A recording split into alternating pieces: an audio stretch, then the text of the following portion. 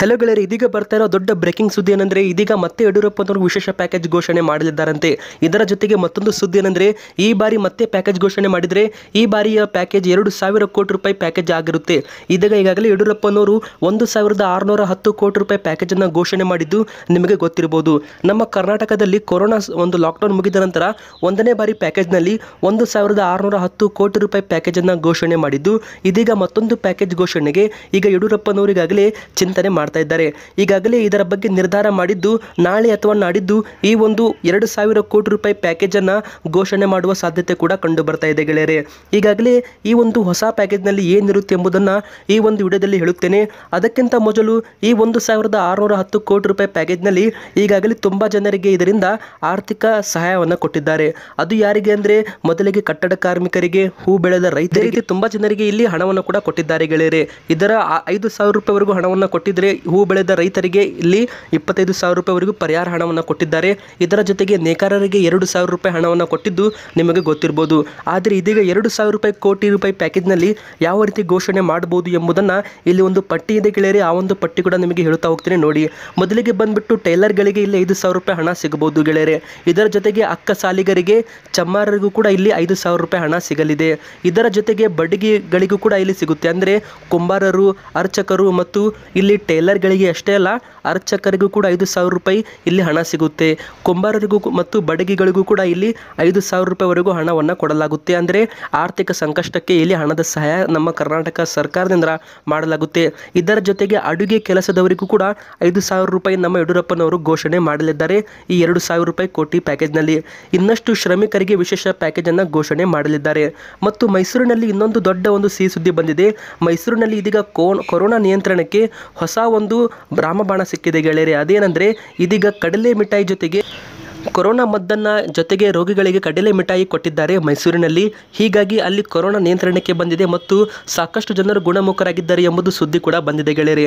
ಮದ್ದು ಜೊತೆಗೆ ರೋಗಿಗಳಿಗೆ ಕಡಲೆ ಮಿಠಾಯಿಯನ್ನು ಮೈಸೂರಿನ ವೈದ್ಯ, ವೈದ್ಯರು ಕೊಟ್ಟಿದ್ದರಿಂದ ಸೋಂಕು ನಿಯಂತ್ರಣದಲ್ಲಿದೆ ಅಂತ ಕೂಡ ಇಲ್ಲಿ ಮಾತಾಡ್ತಾ ಇದ್ದಾರೆ. ಇದರ ಜೊತೆಗೆ ಇದೊಂದು ಸಿಹಿ ಸುದ್ದಿ ಕೂಡ ಆಗಿದೆ ಗೆಳೆಯರೆ. ಮತ್ತು ಇಲ್ಲಿ ಕಡಲೆ ಮಿಠಾಯಿ ಮಾಡಿದವರು ಕೂಡ ಪಬ್ಲಿಕ್ ಟಿವಿ ಜೊತೆಗೆ ಮಾತನ್ನು ಕೂಡ ಆಡಿದ್ದಾರೆ. ಇದರ ಜೊತೆಗೆ ಮತ್ತೊಂದು ದೊಡ್ಡ ಸುದ್ದಿ ಬರ್ತಾ ಇದೆ. ನಮ್ಮ ಇಡೀ ವಿಶ್ವದಲ್ಲಿ ಕೊರೋನಾ ಲಸಿಕೆಯನ್ನು ಚೀನಾದವರು ಕಂಡು ಹಿಡಿದಿದ್ದಾರೆ ಅಂತ ಈಗಾಗಲೇ ಹೂವಾಪೋಹಗಳು ಬಂದಿದ್ದು. ಇದೀಗ ಚೀನಾದ ಈ ಒಂದು ಮಂಗಗಳ ಮೇಲೆ ಈ ಒಂದು ಕೊರೋನಾ ಲಸಿಕೆಯನ್ನು ಪ್ರಯೋಗ ಯಶಸ್ವಿಯಾಗಿ ಮಾಡಿದ್ದಾರೆ. ಮತ್ತು ಮಂಗಗಳಿಗೆ ಕೊರೋನಾ ಸೋಂಕು ಮೊದಲು ಅಲ್ಲಿ ಅಟ್ಯಾಕ್ ಮಾಡಿದ ನಂತರ ಅವರಿಗೆ ಸಂಪೂರ್ಣವಾಗಿ, ಮಂಗಗಳಿಗೆ ಸಂಪೂರ್ಣವಾಗಿ ಕೊರೋನಾದಿಂದ ಗುಣಮುಖರನ್ನಾಗಿ ಮಾಡಿದ್ದಾರೆ ಗೆಳೆಯರೆ. ಚೈನಾದವರು ವಿಶ್ವದಲ್ಲಿ ಮೊದಲನೇ ಬಾರಿಗೆ ಈ ಒಂದು ಮಂಗಗಳ ಮೇಲೆ ಪ್ರಯೋಗ ಮಾಡಿದ್ದು, ಲಸಿಕೆ ಕೂಡ ಯಶಸ್ವಿಯಾಗಿದೆ ಅಂತ ಇದೀಗ ಚೀನಾದ ವರ್ಲ್ಡ್ ರಿಪೋರ್ಟ್ ಕೂಡ ಇಲ್ಲಿ ದಾಖಲೆ ಮಾಡಿದೆ. ಚೈನಾದವರು ಯಶಸ್ವಿಯಾಗಿ ಇಲ್ಲಿ ಲಸಿಕೆಯನ್ನು ಕಂಡು ಹಿಡಿಯಲಿದ್ದಾರೆ ಅಂತಲೂ ಕೂಡ ಮಾಹಿತಿ ಬರ್ತಾ ಇದೆ. ಮತ್ತು ಜೂನ್ ಒಂದರಿಂದ ಥಿಯೇಟರ್ಗಳಿಗೆ ಓಪನ್ ಮಾಡೋ ಸಾಧ್ಯತೆ ಕೂಡ ಕಂಡು ಬರ್ತಾ ಇದೆ. ಇದೀಗ ಥಿಯೇಟರ್ಗಳು ಓಪನ್ ಮಾಡಿದರೆ ಟಿಕೆಟ್ ದರಗಳು ಇನ್ನೂ ಕೂಡ ಹೆಚ್ಚಾಗುವ ಸಾಧ್ಯತೆ ಇದೆ. ಟಿಕೆಟ್ ಖರೀದಿಸಲು ಆನ್ಲೈನ್ನಲ್ಲಿ ಬುಕ್ಕಿಂಗ್ ಸಾಧ್ಯತೆ ಸಿನಿಮಾ ಪ್ರದರ್ಶನಗಳ ಸಂಖ್ಯೆ ಕಡಿಮೆ ಆಗುವುದು. ಶೇಕಡ ಐವತ್ತು ಮಾತ್ರ ಇಲ್ಲಿ ಜನರು ಒಳಗಡೆ ಬರಬೇಕು ಮತ್ತು ಎರಡು ಮೂರು ಸೀಟಿಗೆ ಒಬ್ಬರು ಕೂಡುವ ಹಾಗೆ ಇಲ್ಲಿ ಒಂದು ನಿಯಮವನ್ನು ಕೂಡ ಮಾಡಬಹುದು ಗೆಳೆಯರೆ.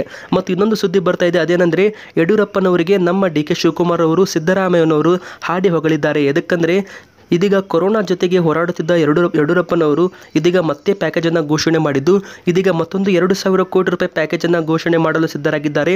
ಇದನ್ನು ನೋಡಿ ಯಡಿಯೂರಪ್ಪನವರಿಗೆ ಸಿದ್ದರಾಮಯ್ಯನವರು ಮತ್ತು ಡಿ ಕೆ ಶಿವಕುಮಾರ್ ಅವರು ಹಾಡಿ ಹೊಗಳಿದ್ದಾರೆ. ಇಂತಹ ಆರ್ಥಿಕ ಸಂಕಷ್ಟದಲ್ಲೂ ಕೂಡ ಇಲ್ಲಿ ಜನರಿಗೆ ಸಹಾಯ ಮಾಡುತ್ತಿರುವ ಇಲ್ಲಿ ಯಡಿಯೂರಪ್ಪನವರಿಗೆ ಧನ್ಯವಾದಗಳು ಎಂದು ಇದೀಗ ಡಿ ಕೆ ಶಿವಕುಮಾರ್ ಅವರು ಮತ್ತು ಇಲ್ಲಿ ನಮ್ಮ ಸಿದ್ದರಾಮಯ್ಯನವರು ಯಡಿಯೂರಪ್ಪನವರಿಗೆ ಇಲ್ಲಿ ಧನ್ಯವಾದಗಳನ್ನು ಹೇಳಿ ಅವರಿಗೆ ಹಾಡಿ ಹೊಗಳಿದ್ದಾರೆ ಅಂತಲೂ ಕೂಡ ಇಲ್ಲಿ ಮಾಹಿತಿ ಬಂದಿದೆ. ಕೊರೋನಾ ಸೋಂಕು ಇದ್ದವರು ಆದಷ್ಟು ಬೇಗನೆ ಇದರಲ್ಲಿ ಚಿಕಿತ್ಸೆ ತೆಗೆದುಕೊಳ್ಬೇಕು. ಕೊರೋನಾ ಸೋಂಕು ಇದ್ದವರು ಏನಾದರೂ ನೆಗ್ಲೆಕ್ಟ್ ಮಾಡಿ ಕೊನೆ ಕ್ಷಣದಲ್ಲಿ ಆಸ್ಪತ್ರೆಗೆ ಬಂದರೆ ಬದುಕೋಸ್, ಬದುಕಿಸೋದಕ್ಕೆ ಇಲ್ಲಿ ದೊಡ್ಡ ಸವಾಲಾಗುತ್ತೆ ಅಂತ ಇಲ್ಲಿ ಎಚ್ಚರಿಕೆಯನ್ನು ಕೊಟ್ಟಿದ್ದಾರೆ. ಹೀಗಾಗಿ ಕೊರೋನಾ ಸೋಂಕು ಇದ್ದವರು ಆದಷ್ಟು ಬೇಗನೆ ಆಸ್ಪತ್ರೆಯಲ್ಲಿ ಚೆಕಪ್ ಮಾಡಿಕೊಳ್ಳಿ ಎಂದು ಈಗಾಗಲೇ ಈ ಒಂದು ಮಾಹಿತಿ ಬಂದಿದೆ. ಕೊನೆ ಕ್ಷಣದಲ್ಲಿ ಬಂದರೆ ಆರೋಗ್ಯವನ್ನು ಕಾಪಾಡಲು ಯಾರೂ ಕೂಡ ಬರುವುದಿಲ್ಲ ಅಂತಲೂ ಇಲ್ಲಿ ಮಾಹಿತಿ ಬರ್ತಾ ಇದೆ. ಇದೀಗ ಬರ್ತಾ ಇರುವ ದೊಡ್ಡ ಬ್ರೇಕಿಂಗ್ ನ್ಯೂಸ್ ಏನೆಂದರೆ ನಮ್ಮ ರಾಜ್ಯದಲ್ಲಿ ನಿನ್ನೆ ಐವತ್ತ ಆರು ಪ್ರಕರಣಗಳು ದಾಖಲೆಯಾಗಿದ್ದರೆ ಇವತ್ತು ಮೇ ಒಂಬತ್ತು ರಾಜ್ಯದಲ್ಲಿ ಪುನಃ ಕೊರೋನಾ ಮಹಾಮಾರಿ ತನ್ನ ಕದಂಬ ಭಾವವನ್ನು ಮತ್ತಷ್ಟು ಚಾಚಿದ್ದು, ಇವತ್ತು ಹೊಸದಾಗಿ ಮೂವತ್ತಾರು ಪ್ರಕರಣಗಳು ದೃಢಪಟ್ಟಿರುವುದು ಇಲ್ಲಿ ದೊಡ್ಡ ಶಾಕಿಂಗ್ ಸುದ್ದಿಯಾಗಿದೆ. ನಿನ್ನೆ ಐವತ್ತೆಂಟು ಜನರ ಪ್ರಕರಣಗಳ ಪತ್ತೆಯಾಗಿತ್ತು. ಇವತ್ತು ಹೊಸದಾಗಿ ಮೂವತ್ತಾರು ಪ್ರಕರಣಗಳು ಕಂಡು ಬಂದಲ್ಲಿ ರಾಜ್ಯದ ಈವರೆಗಿನ ಪ್ರಕರಣಗಳ ಸಂಖ್ಯೆ ಏಳ್ನೂರ ಎಂಬತ್ತೊಂಬತ್ತಕ್ಕೆ ಏರಿಕೆಯಾಗಿದೆ. ಇದು ಒಂದು ದೊಡ್ಡ ಸುದ್ದಿಯಾಗಿದೆ. ಕೇವಲ ಎರಡು ಮೂರು ದಿನದಲ್ಲಿ ಒಂದೂರು ಎಕ್ಸ್ಟ್ರಾ ಕೊರೋನಾ ಸೋಂಕಿತರು ಬಂದಿದ್ದಾರೆ ಗೆಳೆಯರೆ. ಇದರ ಜೊತೆಗೆ ಮತ್ತು ಇನ್ನೊಂದು ಸುದ್ದಿ ಏನೆಂದರೆ ಸುಧಾಕರ್ ಅವರು ತಮ್ಮ ಟ್ವಿಟರ್ ಖಾತೆಯಲ್ಲಿ ಈಗಾಗಲೇ ಹೇಳಿಕೆ ಕೊಟ್ಟಿದ್ದಾರೆ. ಈವರೆಗೂ ನಮ್ಮ ಕರ್ನಾಟಕದಲ್ಲಿ ಒಂದು ಲಕ್ಷ ಜನರಿಗೆ ಈಗಾಗಲೇ ಚೆಕಪ್ಪನ್ನು ಮಾಡಲಾಗಿದೆ. ಒಂದು ಲಕ್ಷ ಜನರ ಕೊರೋನಾ ಚೆಕ್ ಅನ್ನು ಮಾಡಲಾಗಿದೆ. ಆದರೆ ಇದರಲ್ಲಿ ಕೇವಲ ಏಳ್ನೂರ ಎಂಬತ್ತೊಂಬತ್ತು ಜನರಿಗೆ ಮಾತ್ರ ಪಾಸಿಟಿವ್ ಅಂತ ಬಂದಿದೆ. ಒಂದು ಲಕ್ಷ ಜನರಿಗೆ ಇಲ್ಲಿ ಈಗಾಗಲೇ ಚೆಕಪ್ ಮಾಡಲಾಗಿದ್ದು, ಮುಂದಿನ ಬರುವ ದಿನದಲ್ಲಿ ಅರವತ್ತು ಲ್ಯಾಬ್ಗಳನ್ನು ತೆರೆಯಲಿದ್ದಾರೆ ನಮ್ಮ ಕರ್ನಾಟಕದಲ್ಲಿ ಮತ್ತು ಪ್ರತಿದಿನಕ್ಕೆ ಹತ್ತು ಸಾವಿರ ಚೆಕಪ್ಪನ್ನು ಮಾಡಲಾಗುತ್ತೆ. ಇದರಿಂದಾಗಿ ಕೊರೋನಾ ಪೇಷಂಟ್ಗಳನ್ನು ಆದಷ್ಟು ಬೇಗನೆ ಪತ್ತೆ ಮಾಡಿ, ತ್ರೀ ಸೂತ್ರದ ಮೂಲಕ, ಅಂದರೆ ಮೊದಲು ಅವರಿಗೆ ಚೆಕಪ್ ಮಾಡಿ, ನಂತರ ಟ್ರೀಟ್ಮೆಂಟ್ ಮಾಡಿ, ನಂತರ ಅವರಿಗೆ ಟ್ರೇಸ್ ಮಾಡಲಾಗುತ್ತೆ ಅಂತಲೂ ಮಾಹಿತಿ ಬಂದಿದೆ. ಒಂದು ಲಕ್ಷವರೆಗೂ ನಮ್ಮ ಕರ್ನಾಟಕದಲ್ಲಿ ಇಲ್ಲಿ ಚೆಕಪ್ ಮಾಡಿದ್ದಾರೆ ಎಲ್ಲ ಜಿಲ್ಲೆಗಳಲ್ಲಿ. ಇದೀಗ ಅದರಲ್ಲಿ ಕೇವಲ ಏಳ್, ಏಳ್ನೂರ ಎಂಬತ್ತುವರೆಗೂ ಇಲ್ಲಿ ಪಾಸಿಟಿವ್ ಬಂದಿದೆ. ಮತ್ತು ಇದೀಗ ಆಟೋ ಚಾಲಕರು ಮತ್ತು ಟ್ಯಾಕ್ಸಿ ಡ್ರೈವರ್ಗಳಿಗೆ ಇಲ್ಲಿ ಒಂದು ಮಹತ್ವದ ಸುದ್ದಿ ಬಂದಿದೆ ಗೆಳೆಯರೆ. ನಮ್ಮ ಕರ್ನಾಟಕ ಸರ್ಕಾರದಿಂದ ನೀವು ಕೂಡ ಐದು ಸಾವಿರ ರೂಪಾಯಿ ಪರಿಹಾರ ಹಣವನ್ನು ಪಡ್ಕೋಬೇಕಂದ್ರೆ ನೀವು ಬೇಗನೆ ಸೇವಾ ಸಿಂಧು ವೆಬ್ಸೈಟ್ ಮೂಲಕ ನಿಮ್ಮ ಅರ್ಜಿಯನ್ನು ಸಲ್ಲಿಸಬೇಕಾಗುತ್ತೆ. ಇಲ್ಲಿ ಯಾವುದೇ ರೀತಿ ಆಫ್ಲೈನ್ ಅರ್ಜಿ ಸಲ್ಲಿಸುವುದಕ್ಕೆ ಅವಕಾಶ ಇಲ್ಲ. ನೀವು ಕೇವಲ ಏನು ಮಾಡಬೇಕಂದ್ರೆ ನಿಮ್ಮ ಮೊಬೈಲ್ನಲ್ಲಿ ನಿಮ್ಮ ಒಂದು ಡ್ರೈವಿಂಗ್ ಲೈಸೆನ್ಸ್ ಮತ್ತು ನಿಮ್ಮ ಫೋಟೋ, ನಿಮ್ಮ ಆಧಾರ್ ಕಾರ್ಡ್ ಮತ್ತು ನಿಮ್ಮ ವೋಟರ್ ಕಾರ್ಡ್ ಇರ್ಬೋದು ಮತ್ತು ನಿಮ್ಮ ಆಟೋ ಅಥವಾ ಟ್ಯಾಕ್ಸಿ ನಂಬರನ್ನು ನೀವು ಇಲ್ಲಿ ಈ ಒಂದು ವೆಬ್ಸೈಟ್ನಲ್ಲಿ ಹಾಕಬೇಕು. ಇದರ ಜೊತೆಗೆ ನಿಮ್ಮ ಮೊಬೈಲ್ ನಂಬರ್ ಮತ್ತು ನಿಮ್ಮ ಹೆಸರು, ವಿಳಾಸ ಎಲ್ಲವನ್ನು ಬರೆದು ಸೇವಾ ಸಿಂಧು ವೆಬ್ಸೈಟ್ ಮೂಲಕ ನೀವು ಅರ್ಜಿಯನ್ನು ಸಲ್ಲಿಸಿದರೆ ಆದಷ್ಟು ಬೇಗನೆ ನೀವು ಕೊಟ್ಟಿರುವ ಬ್ಯಾಂಕ್ ಖಾತೆಗೆ ಹಣವನ್ನು ಜಮಾ ಮಾಡಲಾಗುತ್ತೆ ಮತ್ತು ನೀವು ಕೊಟ್ಟಿರುವ ಅಕೌಂಟ್ ನಂಬರನ್ನು ಚೆಕ್ ಮಾಡಿ ಹಣವನ್ನು ಹಾಕಲಾಗುತ್ತೆ. ಇದೀಗ ಬಂದಿರೋ ಮತ್ತೊಂದು ಸುದ್ದಿ ಏನಂದರೆ ನಮ್ಮ ಕೇಂದ್ರ ಸರ್ಕಾರದಿಂದ ಆರೋಗ್ಯ ಸೇತು ಆ್ಯಪನ್ನು ಎಲ್ಲರೂ ಕೂಡ ಡೌನ್ಲೋಡ್ ಮಾಡಿ ಅಂತ ಮತ್ತೊಂದು ಸುದ್ದಿಯನ್ನು ಕೊಟ್ಟಿದ್ದಾರೆ. ಆರೋಗ್ಯ ಸೇತು ಆ್ಯಪ್ ನೀವೇನಾದರೂ ಬಳಸಿದರೆ ನಿಮ್ಮ ಏರಿಯಾದಲ್ಲಿ ಯಾರಾದರೂ ಕೊರೋನಾ ಸೋಂಕಿತರಿದ್ದರೆ ಈ ಒಂದು ನಿಮಗೆ ಆರೋಗ್ಯ ಸೇತು ಆ್ಯಪ್ ಎಚ್ಚರಿಕೆ ಗಂಟೆ ಬಾರಿಸುತ್ತೆ. ಹೀಗಾಗಿ ಇದು ನಿಮ್ಮ ಬಾಡಿಗಾರ್ಡ್ ಆಗಿ ಕೆಲಸ ಮಾಡುತ್ತೆ ಗೆಳೆಯರೆ. ನೀವು ಕೂಡ ಆರೋಗ್ಯ ಸೇತು ಆ್ಯಪನ್ನು ಪ್ಲೇಸ್ಟೋರ್ ಮೂಲಕ ಡೌನ್ಲೋಡ್ ಮಾಡಿ ಅಂತ ಇಲ್ಲಿ ಹೇಳಿಕೊಟ್ಟಿದ್ದಾರೆ ಯಡಿಯೂರಪ್ಪನವರು. ಇದೀಗ ಮತ್ತೊಂದು ಶಾಕಿಂಗ್ ಸುದ್ದಿ ಬರ್ತಾ ಇದೆ ಗೆಳೆಯರೆ. ಅದೇನೆಂದರೆ ಮೇ ಹದಿನೇಳರ ನಂತರ ಲಾಕ್ಡೌನ್ ಪೂರ್ತಿ ಸಡಿಲಿಕೆ ಆಗುವ ಸಾಧ್ಯತೆ ಇದೆ. ಎಲ್ಲ ಒಂದು ಜೂನ್ಗಳಲ್ಲಿ ಲಾಕ್ಡೌನ್ ಸಡಿಲಿಕೆ ಮಾಡಬಹುದು. ಎದಕ್ಕಂದರೆ ಇದೀಗ ಕೇಂದ್ರ ಸರ್ಕಾರದ ಒಂದು ಸುದ್ದಿ ಪ್ರಕಾರ ನಾವೆಲ್ಲರೂ ಜನರು, ಭಾರತೀಯ ಜನರು ಇನ್ನು ಮುಂದೆ ಕೊರೋನಾ ಜೊತೆಗೆ ಇಲ್ಲಿ ಆರ್ಥಿಕ ಚಟುವಟಿಕೆ ನಡೆಸಬೇಕಾಗುತ್ತೆ ಅಂತ ಇಲ್ಲಿ ಮಾಹಿತಿ ಬಂದಿದೆ. ಹೌದು ಗೆಳೆಯರೆ, ಎಲ್ಲ ಒಂದು ಕೇಂದ್ರದ ಒಂದು ಸಚಿವರಿಂದ ಈ ಒಂದು ಮಾಹಿತಿ ಬಂದಿದ್ದು ಇದು ದೊಡ್ಡ ಶಾಕಿಂಗ್ ಸುದ್ದಿಯಾಗಿದೆ. ಇನ್ನು ಮುಂದೆ ಬರುವ ದಿನಗಳಲ್ಲಿ ಕೊರೋನಾ ಜೊತೆಗೆ ನಾವು ಜೀವನ ಮಾಡಬೇಕಾಗುತ್ತೆ ಅಂತಲೂ ಇಲ್ಲಿ ಮಾಹಿತಿ ಬಂದಿದೆ. ಹೀಗಾಗಿ ಮುಂದಿನ ಬರುವ ದಿನಗಳಲ್ಲಿ ನಮ್ಮ ಭಾರತದ ಆರ್ಥಿಕ ಪರಿಸ್ಥಿತಿ ಕುಸಿಯುತ್ತಿರುವ ಹಿನ್ನೆಲೆಯಿಂದಾಗಿ ಎಲ್ಲ ಆರ್ಥಿಕ ಚಟುವಟಿಕೆಗಳನ್ನು ಪುನರ್ಚೇತನ ಮಾಡ್ಬೋದು ಇದರ ಜೊತೆಗೆ ಕೊರೋನಾ ನಿಯಂತ್ರಣಕ್ಕೂ ಕೂಡ ದೊಡ್ಡ ಸವಾಲಾಗಿದೆ ನಮ್ಮ ಕೇಂದ್ರ ಸರ್ಕಾರಕ್ಕೆ. ಹೀಗಾಗಿ ಇದೀಗ ಆದಷ್ಟು ಬೇಗನೆ ಈ ಒಂದು ಲಾಕ್ಡೌನ್ ಮುಕ್ತಾಯವಾಗುವ ಎಲ್ಲ ಸಾಧ್ಯತೆ ಕಂಡು ಬರ್ತಾ ಇದೆ. ಇಲ್ಲಿ ನಮ್ಮ ಕೇಂದ್ರ ಸರ್ಕಾರಕ್ಕೆ ದೊಡ್ಡ ಸವಾಲಾಗಿರುವುದೇನೆಂದರೆ, ನಮ್ಮ ಭಾರತೀಯ ಜನಸಂಖ್ಯೆ ತುಂಬಾ ಹೆಚ್ಚಿದೆ ಗೆಳೆಯರೆ. ಲಾಕ್ಡೌನ್ ಸಡಿಲಿಕೆ ಮಾಡಿದರೆ ಸೋಂಕು ಹರಡುವ ಭೀತಿ ಇರುತ್ತೆ. ಲಾಕ್ಡೌನ್ ಏನಾದರೂ ಸಡಿಲಿಕೆ ಮಾಡಲಿಲ್ಲ ಅಂದರೆ ಆರ್ಥಿಕ ಪರಿಸ್ಥಿತಿ ಕುಸಿಯುತ್ತೆ. ಇದೇ ರೀತಿ ಇದೀಗ ನಮ್ಮ ಕರ್ನಾಟಕ ಮತ್ತು ಕೇಂದ್ರ ಸರ್ಕಾರ ಹತ್ತು ಹಲವಾರು ಯೋಜನೆಗಳನ್ನು ಮಾಡಿ ಇದೀಗ ಜನರಿಗೆ ಆರ್ಥಿಕ ನೆರವು ಕೂಡ ಕೊಡ್ತಾ ಇದ್ದಾರೆ. ಇದೇ ರೀತಿ ಗೆಳೆಯರೆ, ಮುಂದಿನ ಬರೋ ದಿನಗಳಲ್ಲಿ ನೋಡಬೇಕಾಗುತ್ತೆ ಯಾವ ರೀತಿ ಲಾಕ್ಡೌನ್ ಸಡಿಲಿಕೆ ಮಾಡ್ತಾರಂತ.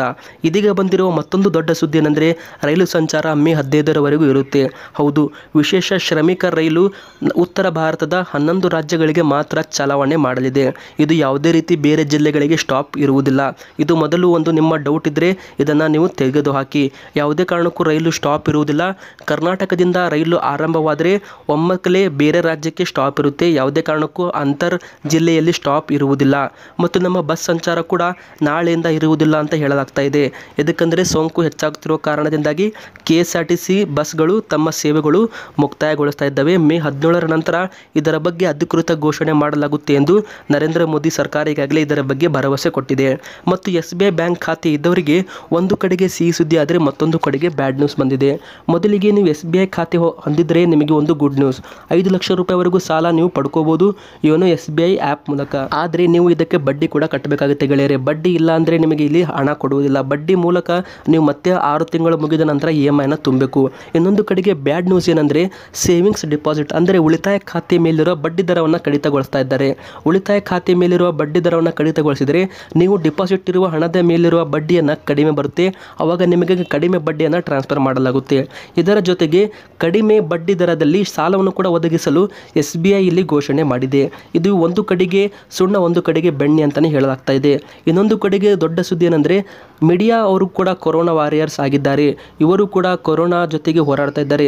ಗ್ರಾಹಕರಿಗೆ ಮತ್ತು ಜನರಿಗೆ ಇಲ್ಲಿ ಕೊರೋನಾ ಬಗ್ಗೆ ಮಾಹಿತಿಯನ್ನು ಕೊಡ್ತಾ ಇದ್ದಾರೆ ಎಲ್ಲ ಮೀಡಿಯಾ ನ್ಯೂಸ್ ರಿಪೋರ್ಟರ್ಸ್ ಹೀಗಾಗಿ ಅವರೇನಾದರೂ ಕೊರೋನಾ ಸೋಂಕಿನಿಂದ ಸಾವನ್ನಪ್ಪಿದರೆ ಅವರಿಗೆ ಆ ಚಾನಲ್ನವರು ಐವತ್ತು ಲಕ್ಷ ರೂಪಾಯಿ ಅವರ ಕುಟುಂಬಕ್ಕೆ ಕೊಡಬೇಕು. ಇದರ ಜೊತೆಗೆ ಸರ್ಕಾರವು ಕೂಡ ಐವತ್ತು ಲಕ್ಷ ರೂಪಾಯಿ, ಒಟ್ಟು ಒಂದು ಕೋಟಿ ರೂಪಾಯಿ ಯಾರಾದರೂ ಕೊರೋನಾ ವಾರಿಯರ್ಸ್ ಮೀಡಿಯಾದವರು ಏನಾದರೂ ಇಲ್ಲಿ ಕೊರೋನಾ ಸೋಂಕಿನಿಂದ ಸಾವನ್ನಪ್ಪಿದರೆ ಅವರ ಕುಟುಂಬಕ್ಕೆ ಒಂದು ಕೋಟಿ ಕೊಡಬೇಕು ಎಂದು ಹೈಕೋರ್ಟ್ಗೆ ಇಲ್ಲಿ ಮನವಿ ಮಾಡಲಾಗಿದೆ. ಆದರೆ ಹೈಕೋರ್ಟ್ ಈ ಒಂದು ಅರ್ಜಿಯನ್ನು ವಿಚಾರಣೆ ಮಾಡಿ ಉತ್ತರವನ್ನು ಕೊಡುತ್ತೇವೆ ಅಂತ ಇಲ್ಲಿ ಮಾಹಿತಿ ಕೊಟ್ಟಿದ್ದಾರೆ. ಇವತ್ತಿಗೆ ಎಷ್ಟೆತ್ತು ಗೆಳೆಯರಿ, ವಿಡಿಯೋ ಇಷ್ಟವಾಗಿದ್ದರೆ ವಿಡಿಯೋನ ಲೈಕ್ ಮಾಡಿ, ಶೇರ್ ಮಾಡಿ ಮತ್ತು ನಮ್ಮ ಚಾನಲ್ಗೆ ನೀವು ಸಬ್ಸ್ಕ್ರೈಬ್ ಮಾಡಿಲ್ಲ ಅಂದರೆ ಸಬ್ಸ್ಕ್ರೈಬ್ ಮಾಡಿ ಮತ್ತು ನೋಟಿಫಿಕೇಶನ್ ಬೆಲ್ ಬರುತ್ತೆ, ಅದು ಕೂಡ ಆನ್ ಮಾಡ್ತಾ ಆಲ್ ಬಟನ್ ಮರೆಯದೆ ತಪ್ಪದೆ ಕ್ಲಿಕ್ ಮಾಡಿ.